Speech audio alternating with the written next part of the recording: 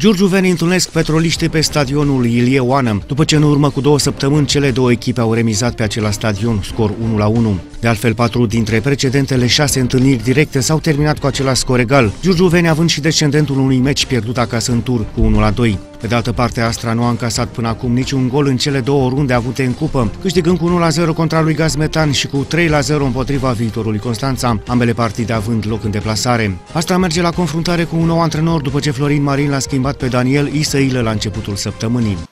Timpul a fost foarte scurt pe care l-am avut la dispoziție să pregătesc acest meci, dar jucătorii au răspuns bine la cerințele mele, am mare încredere în ei, sunt jucători de calitate și sper să obținem un rezultat care să ne dea șanse de calificare pentru a, a ajunge în finala. Mm-hmm.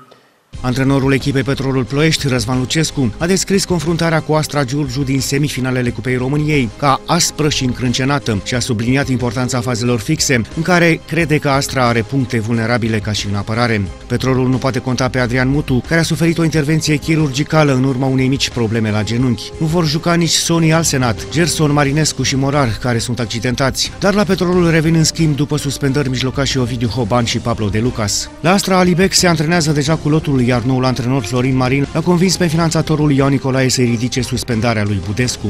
Este un meci de cupă, este total diferit de meciurile din campionat. Sper, v-am spus, să obținem un rezultat care să ne asigure șanse pentru partida de la Giurgiu. Budescu este în lot, este în lot.